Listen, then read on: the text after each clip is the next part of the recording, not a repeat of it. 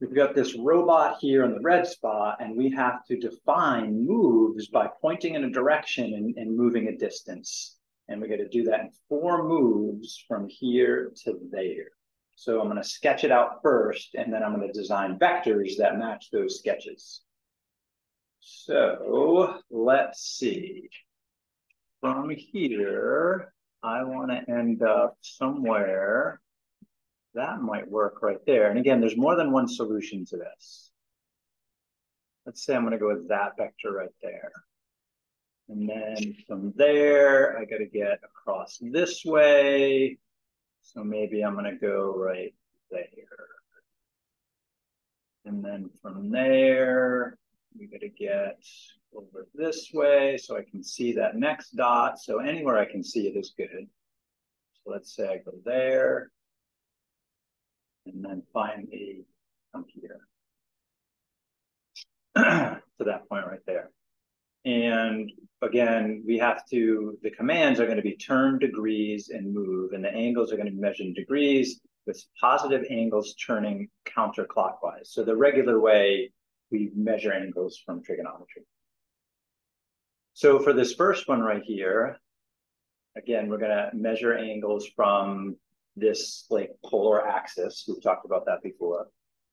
And so I just figure out what that angle is. So what do I know about the vector I drew? Well, the vectors I all drew, I drew as rectangular vectors. I was thinking about getting point to point. That's what I was thinking about. So we have to then just make some notes about what my point to point directions are. So uh, here I'm going over one, two, three, four, and up one, two, three, four. Okay, so I accidentally picked a very nice one to do. So I can see this right here this first green one would be the vector, oops, four, four. And I need to know for that vector, what is that angle right there and what is that distance right there? So I just need to rewrite it in polar form.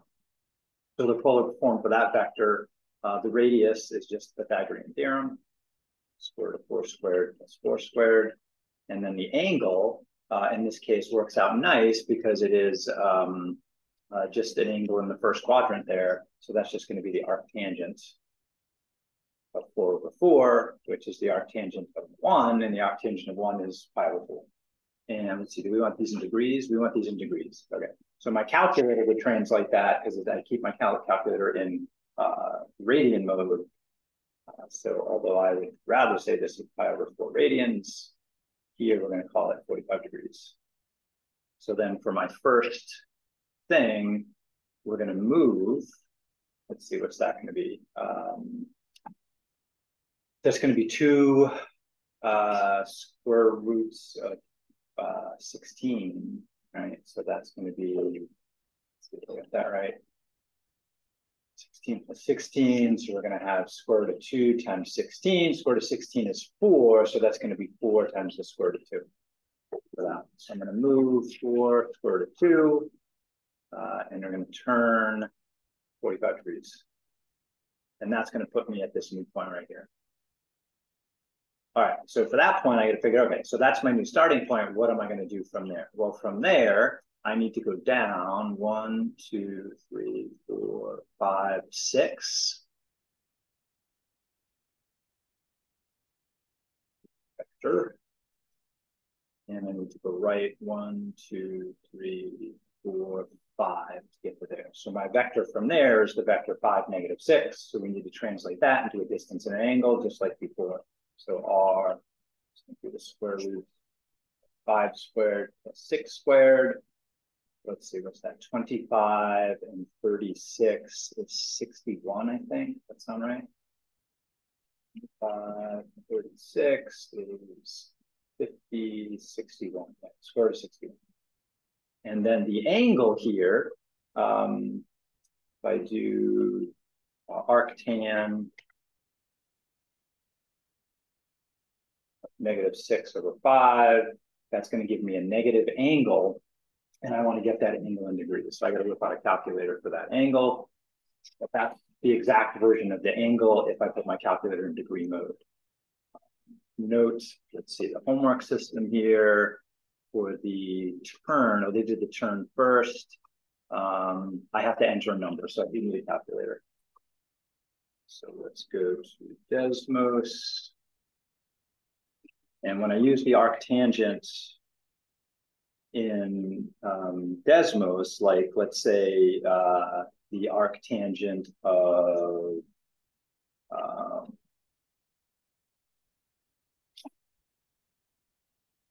uh, one, like I had before, it's giving me this number right here, and that number right there is pi over four, right? So my calculator's in radian mode. I'd rather not switch it to degree mode.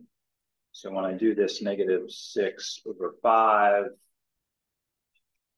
after I'm gonna have to multiply that by 180 over pi to convert.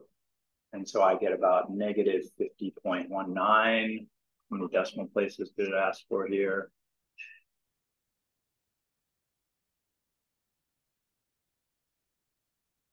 Anybody see a rounding rule? I'm gonna guess two decimal places are okay. Again, I think it's gonna be about negative 50.19, and that looks reasonable on my picture. It's more than 45 degrees down. So two, and again, the computer said do the turn first, and then the move, which makes sense, flip-flop these. So I'm gonna turn negative, it was 50.19 roughly, and then I'm going to move, and it's going to want the decimal version of the square of 61. I'll get that in right order. It's not confusing. And really, the robot does need to turn before it moves. That is important. Not move, then turn. So turn 45 degrees, move in my version for two. All right, next one, what do we got? So for the next one, I have to go over how far? One, two, three, four, five, six, seven, eight, nine, ten. So I have vector 10 horizontal and vertical is one, two, three, four, five, six, it looks like. So then let's do it in the other way. The turn is going to be the arctan of six tenths. Not worried about reducing that because I'm going to use a calculator. And the move is the square root of 10 squared plus 6 squared. That's going to be the third one. Calculations. place, six tenths, gives me 30.96 decimal places.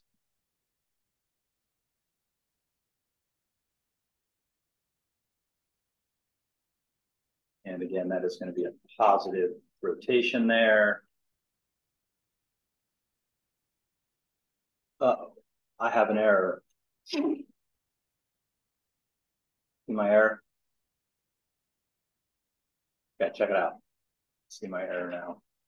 So uh, let's see. Uh, assuming the robot, the robot is initially facing in this way right here, I told him to turn 45 degrees. And so he is currently, when he gets to that point and move, however that distance is, he's currently currently pointing in that direction right there. Um, the turn he has to make to go this way right here, I calculated this part of the turn but he actually asked to turn from where he was facing. So in this case, he has to turn a combination of those two. So the turn is actually the undoing the previous turn and that new additional turn I have.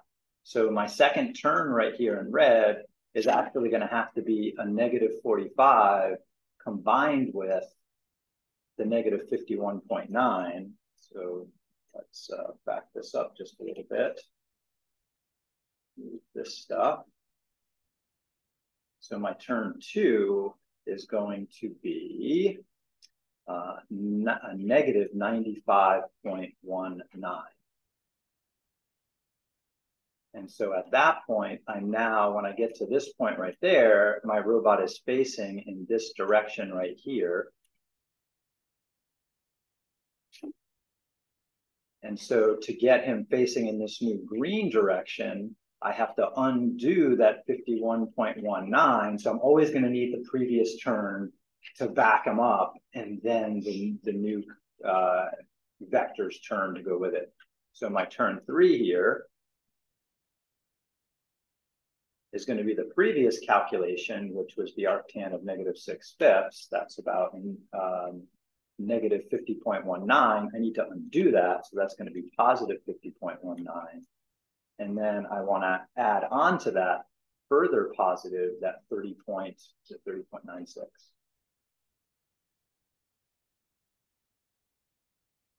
This combination is my new term. So what's that? A, a six hundredths, eight tenths, one degree. It's going to be an 81.86 degree turn to get from this direction to that direction right there. So now my robot is at this point and facing that direction right there. I need to undo the last turn, which would be a negative 30.96. And then I have to calculate this new turn to get in the direction of the endpoint here. So my last vector, one, two, three, four, five. And then down, one, two, three, four. So the additional turn I have to make there, it's a down four. It's going to be the arctan of negative four fifths. And then the move is going to be the square roots of five squared plus four squared. Okay, so we got to calculate the last couple of moves and that new angle. This is a fun problem to solve. So let's see, with my last, it was negative four fifths, and my next new angle.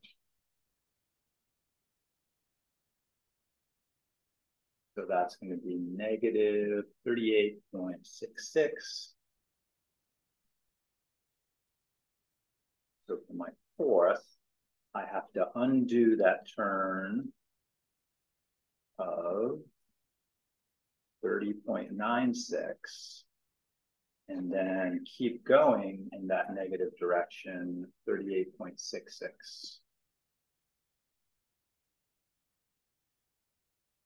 So this is my last turn, and then my last two moves.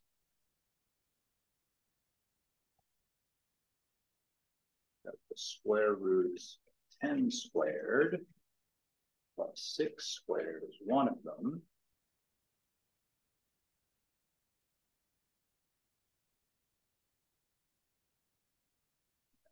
That's 11.66. Color.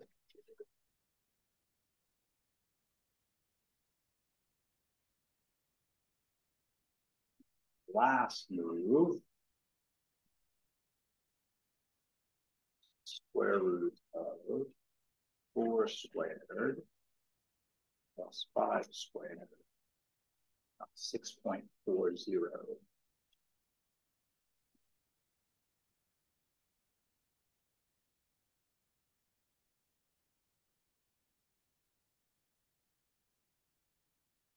other ones, first two moves, square root of four squared, that's four squared. Five point six six ish.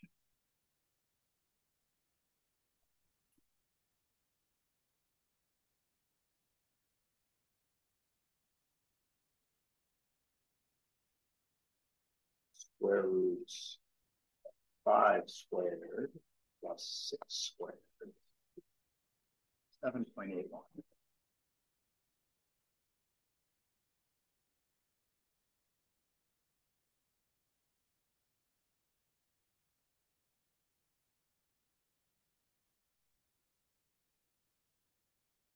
there's a I think we may.